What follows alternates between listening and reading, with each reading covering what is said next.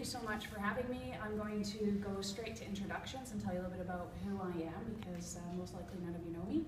I am a uh, researcher by trade. I came out of uh, 10 to 11 years at the bench and with uh, one single tweet I was convinced to actually join the private sector instead. So I now work for Papers and Papers is a uh, reference management tool that goes beyond just reference management. We make a beautiful application for Mac, Windows, and iOS and also online at this point. Um, and we help researchers be productive. So we help with discovery, with the federated search tool we have built in, we help them organize their work, we help them with reading and annotation, collaboration, and sharing. But I'm not actually here to talk about papers, I just want you to know where I come from. I'd actually like to talk to you about some challenges in the library. And the reason for the topic of this talk is, I think, the obvious, I'm talking to librarians.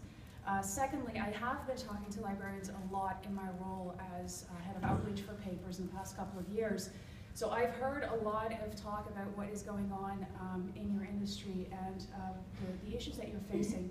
And I want to combine that a little bit with some of the some of the observations we're making and some of the reasons why papers even exist. And that is because workflows are changing. The way that people create a paper now or the way that we do research now is completely different from even 10 years ago, from 20 years ago, forget 100 years ago. Uh, having said that, the way in which we communicate that research is still largely, uh, or at least the core of it is largely the same, and that's through publications. But also libraries are changing. This is close to where we're at now. This is in San Antonio, Texas, and it's the first library without any books. Everything's digital. Now, should we, with that in mind, be afraid of absolutely everything just being online and nothing uh, being on the shelves anymore? Should we be afraid of this? I don't think so. I don't think it'll ever go to this point. I still love physical books. I like opening a book, taking it into the bathtub, and you know reading it, or taking it on a plane. Um, but as a librarian, what I've heard from a lot of your colleagues is that you're starting to feel perhaps a little bit invisible, or having some challenges with actually talking to your patrons if they're not physically coming into the library. How do you connect with them? And so that's something that I'd like to address, and I want to give you a little bit of feedback coming from my experience uh, with this. There's a, a, couple of different ways in which uh, a lot of you are already starting to communicate with patrons. That's different from how it used to be. Uh, used to be that people come into the library in person and talk to you. Now we actually have to go out and talk to others through different means. And some of those means are blogs, social media, and of course also still workshops. But I should emphasize from this list, workshops is the only face-to-face -face mechanism by which you might be meeting people.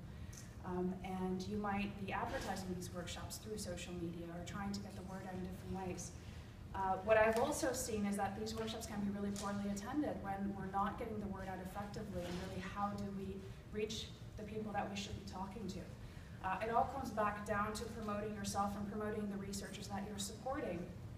And one thing to keep in mind is what do researchers need? Well, they have a pressure to publish. So everything um, in their life revolves around their work and around the goal to get more publications out.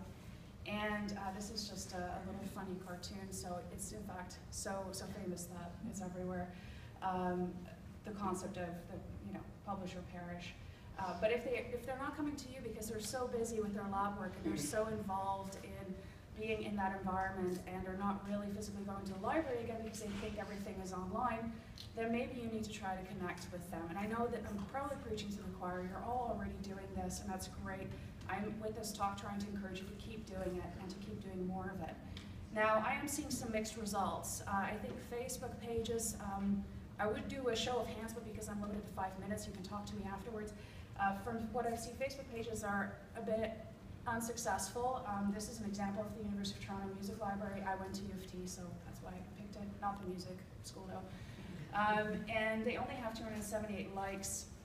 A bit disappointing. Then again, Twitter seems to do better. This is an example for uh, Harvard, for the library. It's 17,000 followers, a little bit better than, uh, than the previous example. Now, a lot of librarians, a lot of your colleagues are on the right path and doing amazing things on Twitter. Here is a few examples of some individuals who have thousands of followers uh, who are making great impacts, and I just wanted to use that as inspiration to encourage you to do the same. I'd like to encourage you to keep the conversation going. Um, there's uh, different resources, there's different Twitter chats by which you can engage with researchers about the topics that concern them. So these are not library topics, these are topics that they're worried about. And staying on top of the research being published in your university. Um, there are many tools for this, one of them is papers. and then tweeting about it, and I'm going to speed up tremendously because I got the one minute mark a little while ago. Uh, and one of the many reasons why researchers should be talking to you, in my opinion, is because you offer insights beyond the search results.